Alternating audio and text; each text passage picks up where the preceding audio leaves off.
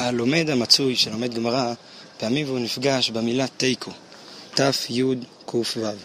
תיקו בשם הגאונים מפרשים שזה ראשי תיבות תשבי, תרץ, קושיות ובעיות. תשבי זה אליהו הנביא. הוא זה שיבוא לעתיד לבוא ולתרץ לנו. ובאמת הקובץ שיעורים רבי אלחנן וסרמן שואל, הרי קיימה לן לא בשמיים היא. ככה הגמרא בבבא מציע בדף נ"ט כותבת לגבי המחלוקת שהיה לרבי אליעזר הגדול, רבי אליעזר בן אורקן נושאים חכמים. וכשהוא אמר להם בת קול תוכיח ויצא בת קול הלכה כרבי אליעזר, אמרו לו לא, לא בשמיים היא. אז איך יכול להיות שאליהו הנביא יבוא, הרי הוא מלאך, הוא בשמיים?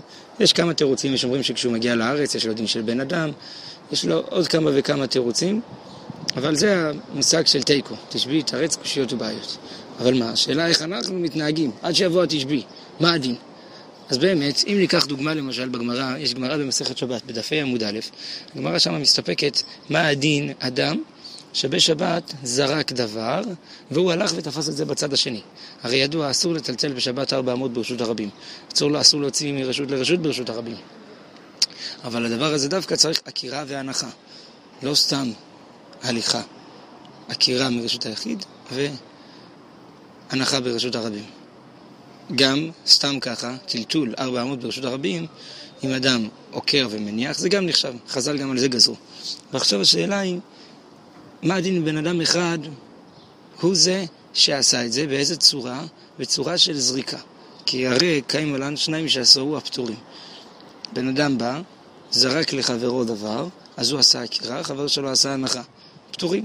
כיוון שצריך מלאכה אחת שהאדם יעשה אותה לבד מההתחלה ועד הסוף. מה הדין בבן אדם עצמו עשה את זה, זרק והוא רץ ותפס את זה בצד השני. אז עכשיו הספק של הגמרא היא האם שתי כוחות באדם ככוח אחד עמי, כאדם אחד עמי או כשני בני אדם. שתי כוחות, הכוח של הזריקה והכוח של התפיסה. שהוא זרק, הוא התנהג כמו, כמו שני בני אדם, אבל בעצם זה בן אדם אחד. אומרת הגמרא על זה תיקו. מה זה תיקו? תשבי, תרץ קושיות ובעיות. נו, איך אנחנו עכשיו פותרים את זה? איך אנחנו עושים? בן אדם עושה את זה או לא? אז הרמב"ם בפרק י"ג, בהלכות שבת הלכה ט"ו, כותב שאם בן אדם עשה את זה הוא פטור. המגיד משנה כותב שם על המקום, דרכו של הרמב"ם, בכל מקום שיש תיקו שפטור. זה דרך אגב בא ללמד אותנו את הדרך ההלכתית, שכל דבר, יש מחלוקת בפוסקים, האם כל דבר שאנחנו לא יודעים הוא מותר עד שנוכיח שהוא אסור, או כל דבר הוא אסור עד שנוכיח שהוא מותר. דרכו של הרב עובדיה הייתה כל דבר מותר עד שתוכיח שהוא אסור. ולכן אפילו לגבי הפאה הנוכרית הרב עובדיה אמר ניסיתי למצוא היתרים, ניסיתי למצוא היתרים, לא הצלחתי, לא הצלחתי, לא הצלחתי. אז זה הדבר שגם הרמב"ם פה כותב, פטור. האדם הזה פטור על הדבר, למה? כי את זה התורה ניתנה בידי חז"ל, לפסוק ולהחליט, וכללי התיקו, לפי מה שהרמב"ם פוסק, זה שהאדם פטור כיוון שאין לנו ראיה שהוא חייב, כיוון שחז"ל נשארו בספק, פירושו פטור. אז למה חז"ל לא אמרו פטור? מכיוון שהספק הזה, אין להם ראיה או הוכחה לחייב או לפתור.